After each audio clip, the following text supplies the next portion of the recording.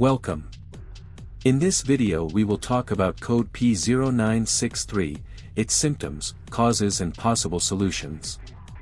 The P0963 trouble code relates to the pressure control solenoid A control circuit, indicating a high voltage condition.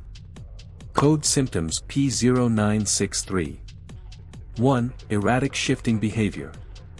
2. Poor transmission performance. 3. Delayed or harsh shifting.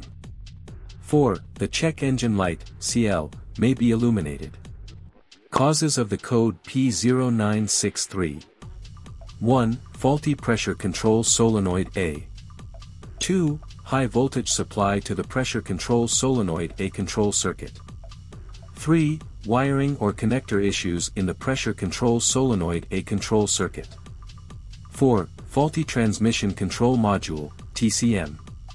Code Solutions P0963. 1. Test and replace the pressure control solenoid A if it is faulty. 2. Check the voltage supply to the pressure control solenoid A control circuit using a multimeter. Repair any issues with high voltage supply. 3. Inspect the wiring and connectors in the pressure control solenoid A control circuit for any damage, corrosion, or loose connections. Repair or replace any damaged wiring or connectors. 4. Diagnose and replace the faulty transmission control module, TCM, if necessary.